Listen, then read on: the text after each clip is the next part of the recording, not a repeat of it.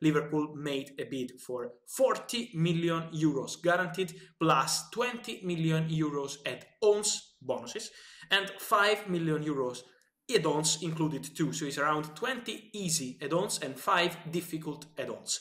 Hi guys, welcome back on the channel, busy day, busy hours, final days of the transfer window and today we have an update on the crazy story of Luis Diaz, Colombian winger of Porto, who is now close to sign for Liverpool. Really mad, mad transfer story. Let's jump into it together because Liverpool are hijacking the move because it was close to join Tottenham.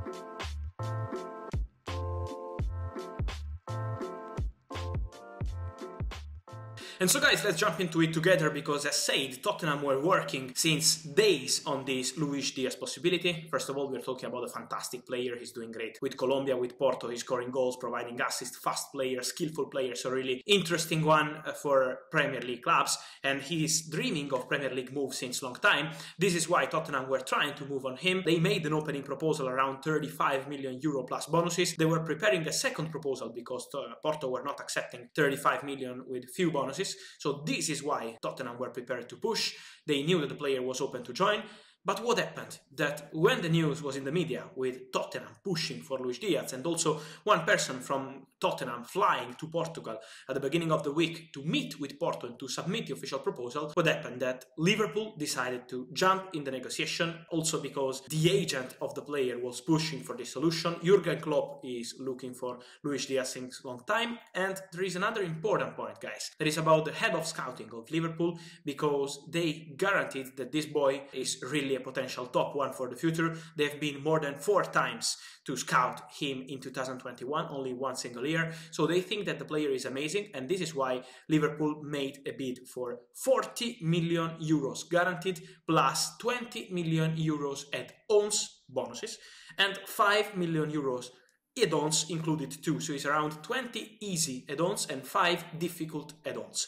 The total package could be around 60, 65 million euros add-ons included. This is the fee. Porto are prepared to accept this proposal from Liverpool, so Liverpool are getting really close to sign Luis Diaz. We are at the final stages of this negotiation, and now Liverpool are preparing for medical in South America because Luis Diaz is busy with Colombia in the CONMEBOL World Cup qualifying now, and this is why Liverpool are prepared to send in South America uh, their people from medical staff to have this test in South America for Luis Diaz.